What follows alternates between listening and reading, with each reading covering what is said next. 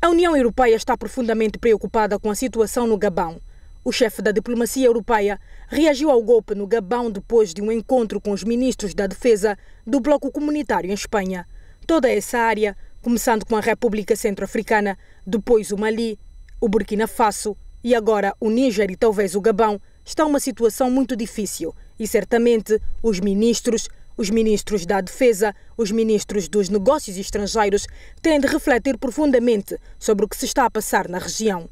O golpe militar teve lugar pouco depois do anúncio dos resultados das presidenciais do fim de semana, que reconduziram o presidente no cargo que ocupa desde que sucedeu ao pai em 2009. Desde a sua residência, o chefe de Estado apelou ao povo para fazer ruído e contestar a ação do exército